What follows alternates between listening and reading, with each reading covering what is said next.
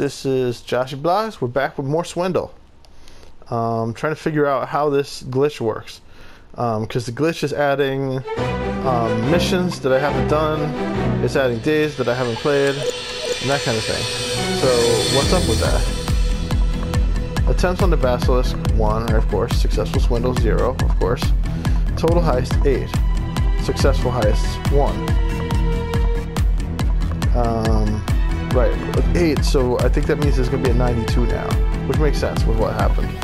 So let's see. Because last time was a 93, and I quit straight out of this. Wait, it's still 93. But look at that. It says the 93, right? But wouldn't that imply... That would imply that 7 heists happened, right? Not 8. Okay, let's let's quit again.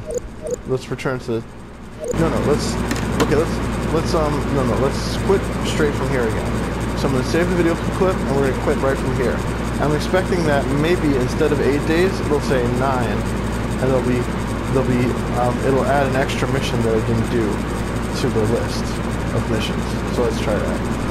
Um, so I'm going to quit here, save video clip,